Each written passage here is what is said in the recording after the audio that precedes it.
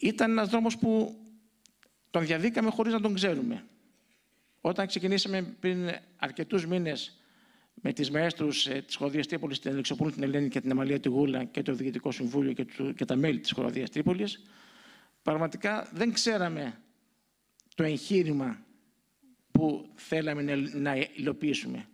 Ήταν το μεγαλύτερο εγχείρημα που έχουμε κάνει ποτέ ως Χοροδία Τρίπολης και αν σκεφτούμε ότι πριν μερικά χρόνια μαζεύτηκαν χίλιοι χοροδοί στο Παναθηναϊκό στάδιο προς τιμή του μεγάλου μας του Μίκη Θοδωράκη και πραγματικά ήταν μια τρομερή, τρομερή επιτυχία, μια εμβληματική εκδήλωση χίλιοι χοροδοί, τι μπορούμε να πούμε όταν μια εραστεχνική χοροδία της Τρίπολης μαζεύει 1.800 χοροδούς σε αυτό το θέατρο; Δεν ξέρω πόσο συγκρίσιμα είναι, αλλά το σημαντικό είναι ότι η Τρίπολη για μέρες τώρα και για ακόμα πολλές μέρες είναι στο πολιτιστικό κέντρο όλης της Ελλάδος. Και όχι μόνο, γιατί έχουμε δεχτεί πολλά μηνύματα και από το εξωτερικό, από χοροδίες που έχουν δει το τι έγινε στην Τρίπολη και έχουν δείξει ενδιαφέρον να έρθουν και αυτές σε επόμενη διοργάνωση.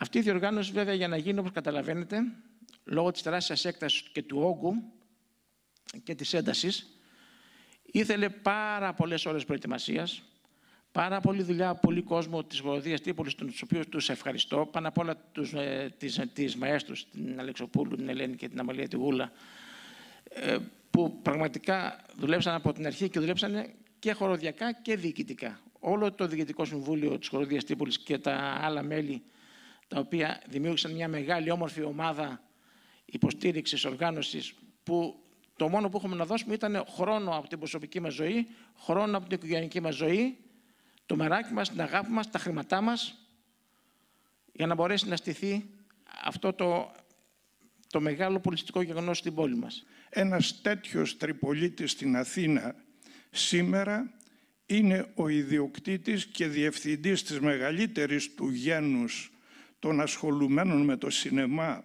το θέατρο και την τηλεόραση σχολής στην Ελλάδα εδώ και 70 χρόνια της σχολής Σταυράκου, από την οποία σχολή Σταυράκου έχουν αποφυτίσει χιλιάδες μέχρι σήμερα με τα μεγαλύτερα ονόματα των επιτυχιών.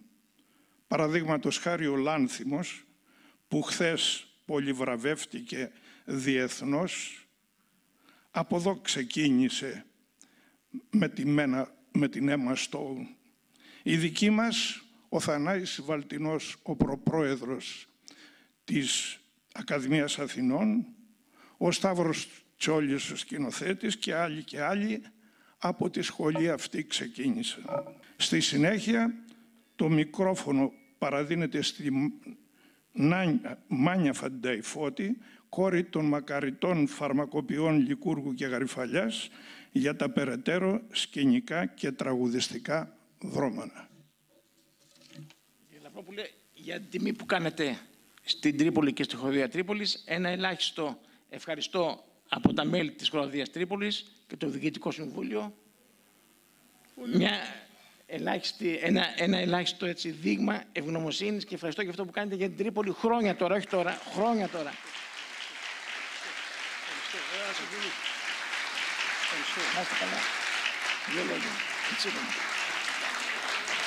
Καλησπέρα σας.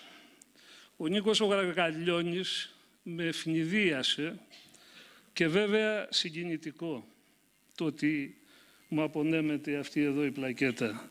Ξέρετε πολύ καλά ότι εγώ την Τρίπολη την έχω αγαπήσει πάρα πολύ.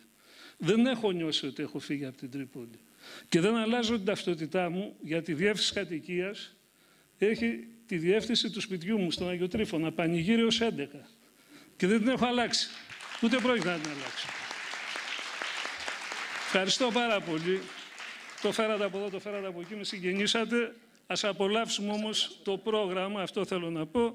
Ο Νίκος Γκάτσος γεννήθηκε το 1911 ή το 1914 στην Ασέα Αρκαδίας όπου και τελείωσε το δημοτικό σχολείο. Για το γυμνάσιο πήγε στην Τρίπολη και εκεί γνώρισε τα λογοτεχνικά βιβλία μα και τις μεθόδους αυτοδιδασκαλίας ξένων γλωσσών. Έτσι, όταν ήρθε στην Αθήνα για να εγγραφεί στη φιλοσοφική σχολή, ήξερε αρκετά καλά γαλλικά και αγγλικά. Νίκος Γκάτσος. Είχα την τιμή, τη χαρά και την τύχη να είμαι φίλος του. Την εποχή εκείνης, αρχές της, του 70, ήμουνα ο σύνδεσμος του Μάνου Χατζηδάκη που ήταν στη Νέα Υόρκη και του Νίκου που ήταν στην Αθήνα. Ο Νίκος Γκάτσος δεν ήταν στιχουργός, ήταν ποιητής και κάθε τραγούδι που είχε γράψει ήταν ένα πείμα. Με την εκρηκτική του ερμηνεία, με το λυρικό και επαναστατικό τρόπο του, μεταφέρει στον κόσμο τον Απόλλωνα και το Διόνυσο. Υπάρχουν τραγουδιστές, ερμηνευτές, αηδοί, στάρ και υπάρχει και ο Βασίλης Λέκας. Ο Λέκας δεν τραγουδά, δεν ερμηνεύει, δεν γοητεύει, δεν είναι στάρ.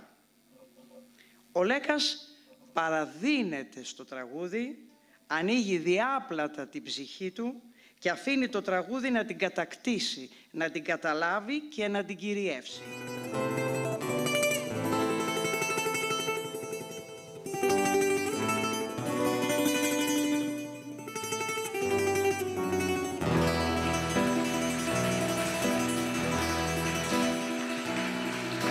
ανοίγω το στόμα μου και αναγαλιάζει το πέλαγος